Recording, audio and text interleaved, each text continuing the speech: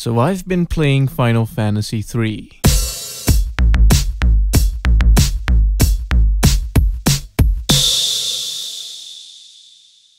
Out of all Final Fantasies, this used to be the one that was the hardest to get.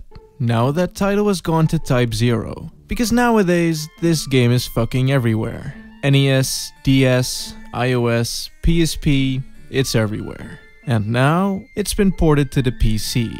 This port is based on the iOS port, which is based on the DS port, which is based on an NES game from 1999.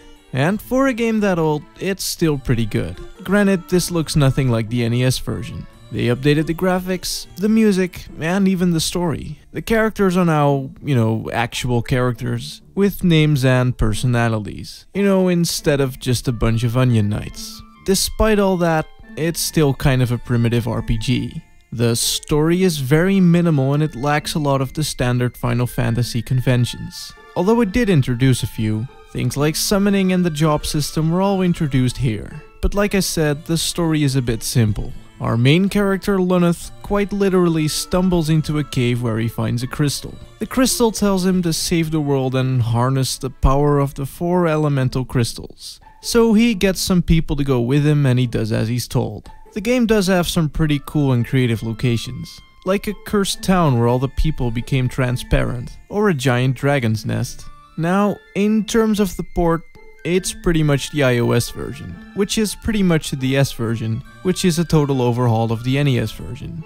It's a pretty solid port even though it still looks a bit like a stretched out DS game. The only thing I don't really like is the lack of customization. You can change the resolution and rebind the controls. Then again, looking at this game, I'm not really sure it would benefit from having an FOV slider. What I do really like is the autosave memo thing. Basically, if you quit the game, it'll remember exactly where you are, and you can restart from that exact position. It deletes when you die though, so whenever you are on the world map you still might want to save. But it does make dungeon exploring a lot easier, because now you can just quit mid-dungeon and not have to worry about redoing anything. I'm not sure if the game was made any easier the past couple of years. I would assume so because most people playing this probably didn't grow up with the Nintendo torture system. But even if they did, the game is still pretty damn hard. I mean, you actually need to grind before the first dungeon or else this happens. Grinding, for your information, looks like this. So yeah, it's an okay port of a great game. It runs fine and there aren't any glitches or anything like that. That said, if you already played the DS or the iOS version, you won't really find anything new here except a higher resolution.